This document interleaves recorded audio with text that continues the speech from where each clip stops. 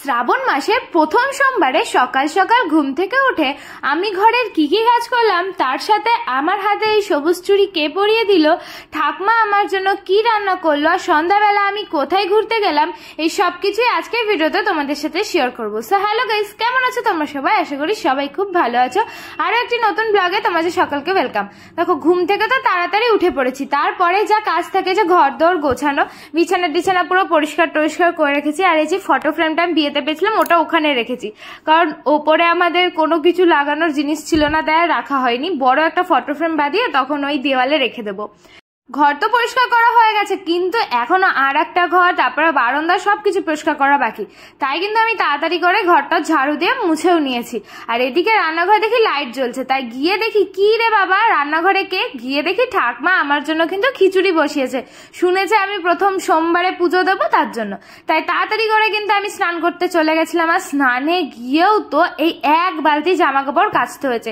এর মধ্যে শুধু আমার জিনিস না, এর মধ্যে আমার বরেরই বেশিরভাগ জিনিস। দেখো, এখন যে এক এক করে এখানে আমি মেলে দেবো। এত জামা নোংরা করে কি আর বলব?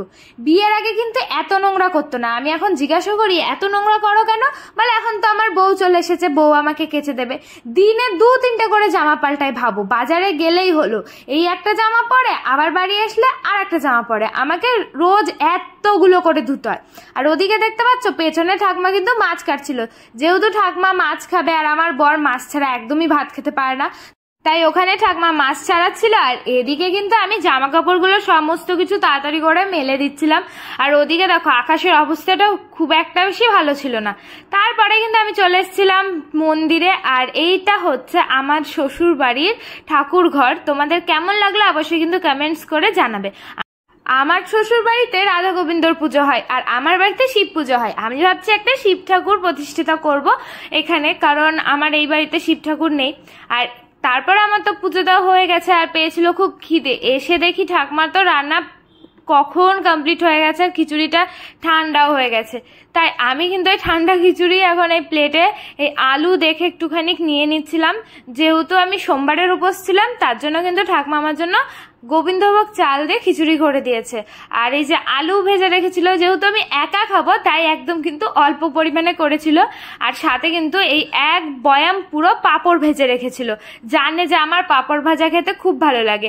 আজকে রান্নার ডিউটি থেকে আমি বাবা ছুটি নিয়েছি সব কিছু ঠাকমাই করে দিয়েছে। দেখো, তারপরে কিন্তু আমি বসে পড়েছি খেতে। এই যে তোমরা অনেকদিন বলো আমাকে যে আমি ঘরের মধ্যে খেতে যাই, ঘরের মধ্যে খেতে যাই। আর আমি কিন্তু আজকে বারান্দাতেই খেতে বসেছি, আজকে কিন্তু ঘরে যাইনি। দেখো, যখন যেখানে ইচ্ছা হয় সেইখানে বসেই খাই। কি আর করব? আমি একাই খাই। ঠাকুমার অনেক কাজ থেকে, দাদু যখন আসে তখন ঠাকমা খেতে বসে। তোমরা কে কে সোমবার করে মানো, আমাকে কিন্তু অবশ্যই কমেন্টস করে জানাবে। আরও শ্রাবণ মাস, কে কে হাতে সবুজ চুরি পড়েছো এটাও কিন্তু কমেন্টে জানিও। দেখো, আমি এদিকে খেতে বসেছি আর ঠাকমা কিন্তু এখানে উনানে রান্না করতে গেছিল, কারণ গ্যাসে শুধু আমার জন্যই খিচুড়িটা বসিয়েছিল। আর ওদিকে সমস্ত কিছু আঁশ জাতীয় জিনিস সব উনানেই রান্না হবে। আর আমি এখনও অবধি উনোরে রান্না করতে পারি না, তাই আমি উনানের কাছেও যাই না।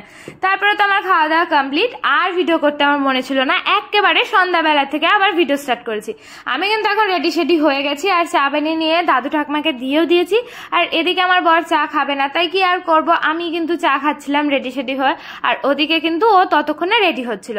কারণ এখন একটা জায়গায় ঘুরু ঘুরু করতে যাব। সারা দিন বাড়িতে একা থেকে আমার একটুও ভালো লাগে না।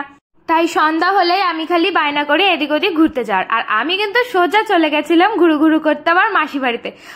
অনেক দিন ধরে আমার বোনদেরকে দেখা হয় না। আর এই দেখো, বিয়ের দিন থেকে না আমার মিঠাই সোনা আমাকে চিনতেই পারছিল না, কারণ আমি শাড়ি পরেছিলাম। কিন্তু আজকে যেহেতু আমি কুর্তি পরে গেছি, ও আমাকে কি সুন্দর চিনে ফেলেছে। তারপরে দেখো মাসি পুজো দিয়েছিল, সেই প্রসাদটা আমাকে কিন্তু দিল।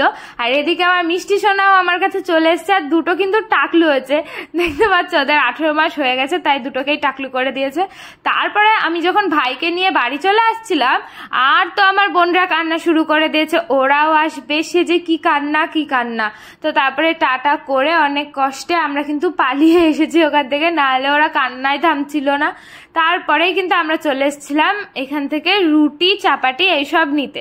ঠাকমা ওদিকে অলরেডি রুটি করে রেখেছিল বাট আমার ভাই বায়না করছিল যে চাপাটি খাবে। আর ওদিকে কিন্তু অমিত ওর জন্য আর ঠাকমাদের জন্য কিন্তু নিয়ে নিয়েছিল তরকা। আর এখানে আমি দেখছিলাম বানানো হচ্ছে মোগলাই। আমার তো দেখে বেশ ভালো লাগছিল। আমিও একদিন বাড়িতে মোগলাই ট্রাই করব। আর এখান থেকে কিন্তু ও নিয়ে নিয়েছিল ঘুগনি। যেহেতু সবাই খাবে, তাই একটু তরকা তো হবে না। তার জন্য কিন্তু মিলিয়ে গুছিয়ে তরকা আর ঘুগনি নিয়েছিল। আর আমার জন্য তো বাড়িতে এমনি তরকারি রয়েছে নিরামিষ।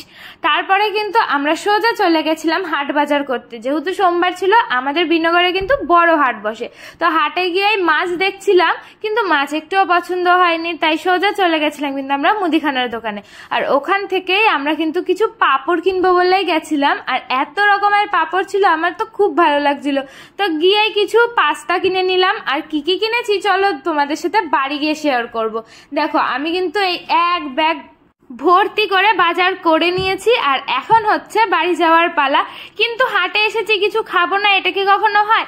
গেছিলাম গুড় বাদামের দোকানে বাট ওখানে এত রাতে আমরা গেছিলাম, প্রায় সাড়ে নটা নটা বেজে গেছিল, সব শেষ হয়ে গেছিল। তাই আসার সময় কিন্তু আমি এই কাকুর দোকানে চলে গেছিলাম আইসক্রিম খেতে। আমার যখন বিয়ে হয়েছিল না, আমি যখন বাড়ির জন্য বাজার করতে যেতাম, আমি আর বোন কিন্তু এই কাকুর দোকান থেকেই মায়ের কাছ থেকে পয়সা জমে আইসক্রিম খেতাম। আর না থাকলেও বাকি করে খেয়ে আসতাম, পরের দিন দিয়ে আসতাম। তারপরে বাড়ি চলে এসছে। আর বাড়ি এসে ভাইকে আইসক্রিম দিয়ে দিয়েছি বাট ততক্ষণে কিন্তু আইসক্রিমটা পুরোই গলে গেছিল। যাই আর আমি নিয়েছিলাম জলজিলা ফ্লেভারের আর আমার ভাই নিয়েছিল কাঁচা ম্যাঙ্গো ফ্লেভারের আমার বর আর এত রাত্রেবেলা আইসক্রিম খায়নি, তাই ও কিন্তু এসেই শুয়ে পড়েছে আর শুয়ে শুয়ে ফোন দেখছে। আর আইসক্রিমটা কিন্তু বেশ ভালো ছিল। আমি এই ফ্লেভারটাই খেতাম। আমার এত ভালো লাগে, কি আর বলব? তো খাওয়া দাওয়ার পরে যে কি কি নিয়ে এসেছি, চলো তোমাদের সাথে শেয়ার করি, বলেছিলাম করব।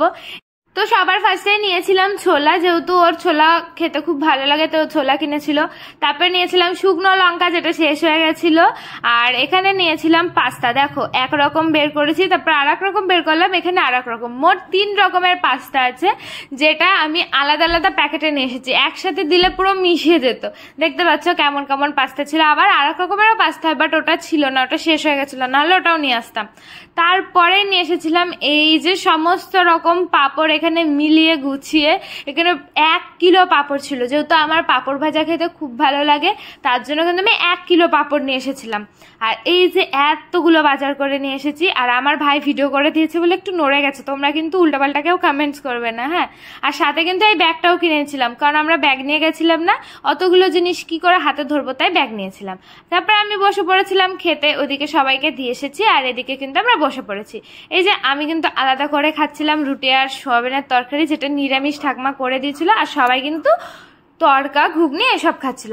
তো বন্ধুরা, আজকের ভিডিওটা তোমাদের কেমন লাগল অবশ্যই কিন্তু কমেন্টস করে জানাবে। ভালো লাগলে লাইক শেয়ার করে দেবে। আর কারা কারা শ্রাবণ মাস করছে সেটাও কমেন্টে জানিও। তো আজকের জন্য বাই দেখা